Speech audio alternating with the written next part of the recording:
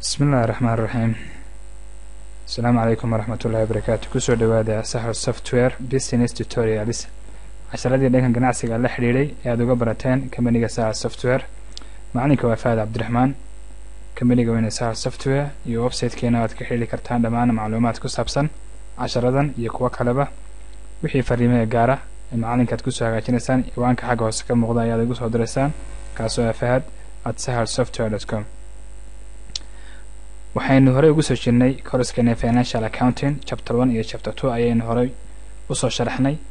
Iminkana waxaynu qaadanaynaa chapter three oo magaciisa lahahda double entry framework kaasoo noqonaya in laba jeer ama laba jeergelin waxaa loo yaqaan double entry oo aynu dib ka fahmi doono laba jeergelinta debit iyo credit.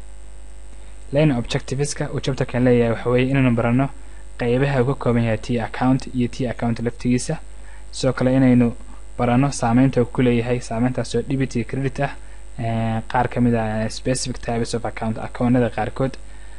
Iyo sidoo kale inaynu barano t account analyze transactions inaynu ku analyze garayno dhacdooyinka dhaqaale ee transactions loo yaqaano. Inagoo isticmaalno t account ugu dambeyntiina waxaynu ku baran doonaa chapterkan inaynu diyaarino trial balance. T accountka wuxuu ku kooban yahay saddex qaybood.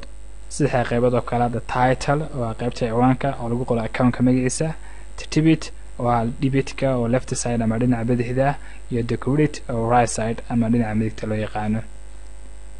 T accountka laguu sheegayo waa qaybtan waxaana kaga muuqda. Waxaa t account lagu bixiyeyna waxa weeye sababtoo calaamadda ayaa waxay ogtahay sida kelimada t ee english ku jirta ama af soomaaliga ta'da loo yaqaano.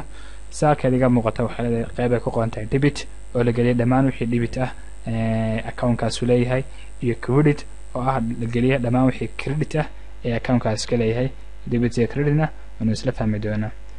Sidoo kale d r iyo c r ayaa loo soo gaabiya oo loo kala taagay debit iyo credit waxaana muhiima account name oo ama account title titleka accountku leeyahay oo lagu qoro xagga sare. Tusaale ahaan iminka waxaan ugu qoran cash iska example laakiin marba accountkaaga wuxuu yahay whether it cash account receivable liability mm, any other assets ama liability ama nasigat uu yahay expense hadduu yahay titlekiisa xaggaas aad ku qoraysaa okay.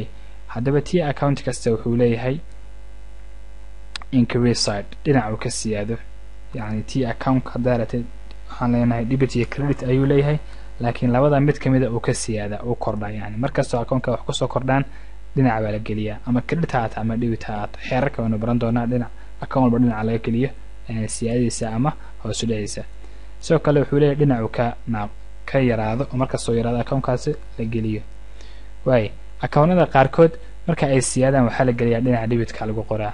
Halka qaar kalena marka ay siyaadaan ama soo kordhaan dhinaca creditka la geliyo. Halkaas in halkaa la isku khilaafsan yahay. Kabasooqa debitka creditka aan ku hadlayna waxaa weeye in account la geliyo dhinaciisa. Dhinaca debitka dhinaca left sideka aynu gelino amountiga ama lacag. Amountiga lagu sheegay waa lacagina soo gashay account leeyahay haddana ku qoran debitka waxa weeye accountka waa la debit gareeyey. Haddii aad maqashay account ba la credit gareeyena waxa weye dhinaca creditka ama sideka in wax kaga qorno. Waayo haddaba saameynta uu ku leeyahay debit iyo creditku accounting equationka accounting equationka hore baynu isla dhaqaanay oo waxa weeye assets is equal liabilities plus owners equity hantidaadu waxay la mid tahay mar kastaba waxa la wixii aad soo deymatid iyo wixii aad adigu lahayd. Haddii ay jirto waayo haddaba dhammaan waxa la wixii asad ah waxay leeyihiin debit iyo credit liabilityguna sidaasi la eg owners equityguna isna waa sidoo kale. Haddaba seebay u kala qaataan. Seebay kuweebaa ka siyaada dhinaca debitka kuweebaa ka kordha dhinaca creditka halkan ayaynu ku baran doonaa.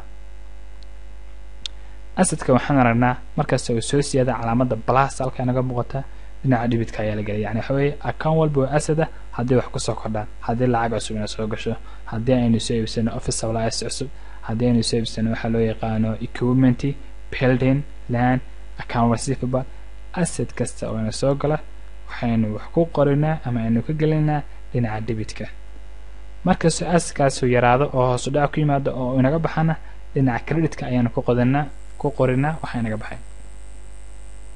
Liability way ka duwantahay iyada way ka soo horjeedaa. Maxaa yeelay markasta oo liability ama dayn la galo dhinaca creditka ayaa lagu qoraa markastoo dayntii la galay la bixiyo ama ay yaraatana dhinaca dhibitka ayaa lagu qoraa intii la bixiyey inta la kaataba.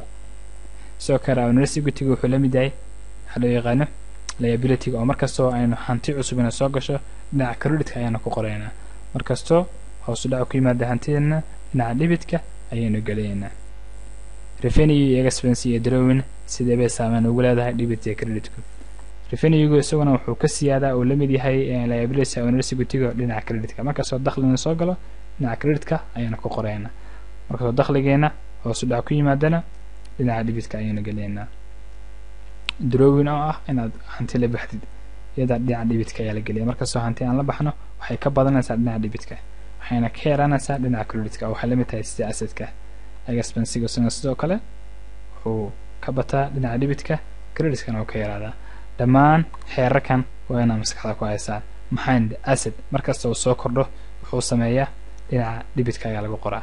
Markastuu yaraana dhinaca creditka sidoo kale asadka waxaa kula mid ah drowing iyo expense. Halkaa saddexdaas dhinac bay isu raaceen. Dhibitka ayay ka wada siyaadaan creditka way ka wada ka yaraadaan. Liability waxaa loo yaqaano university iyo revenueguna dhammaantood waxaa laga kordhiya dhinaca creditka halkaa lixdii saddex iyo saddex baa loo kala baxay maskaxda waanaad ku haysaa. Maxaa transactionada soo socda? Waxay ku saabsan yihiin inaynu qofku xeerkan waa rule rulekan inuu fahmo. Waayo waxaa jira de normal balance. Normal balance wax kale kama hadlo. Waxaa inoo sheegaa accountka dhinaca uu ka siyaado.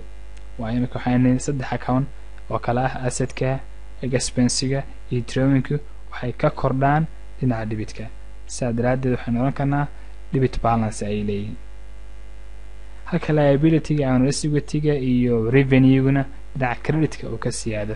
Waxaynu odhan karno credit balance ayuu leeyahay accountkaas. Intaa kadib waxaynu eegaynaa inaynu haddaba xeerarka aynu soo sheegnay aynu ku dabaqno ama aynu ku salayno transactionadan ganacsigeena ka dhex dhacaya. Chapter two waxaynu ku soo aragnay si loo analyse karaan transactionka inagoo isticmaala accounting equation haddaba chapterkeena caawa chapter three.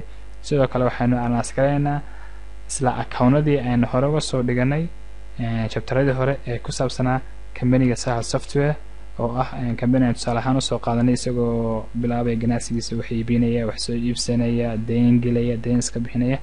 Laakiin hore baynu u soo sheegay transaction kuwii ayaynu soo qaadaynaa laakiin markale waxaynu isticmaalnaa t account. T account wax kale nooma sheegta. Maxaa debit ah? Maxaa credit ah? Haddii transaction dhacay ma debit buu saameyn ku yeeshay? Ma credit buu saameyn ku yeeshay mar kasta waxaad xasuusnaataan oo maskaxa ku haysaan haddii aad maqashay account baa la debit gareeyey ama dhibit heshid waxaa khasaba ugu yaraan inaad haysatid aan credit.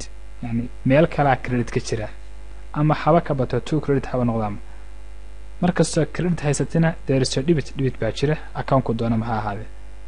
Double entryga chapterka magaciisa aan ka soo hadlinay laguu sheegayay waa kan. Yani dhacdo kastoo ina soo gasha ama wax kastoo inaga baxa ganacsigeena iyo credit buu leeyahy markaas ayaynu casharkan ku joojineynaa inta aynu u gudbayno casharo kale waxaan idiga tegayaa. Asalaamu calaykum waraxmat ullaahi wabarakaatu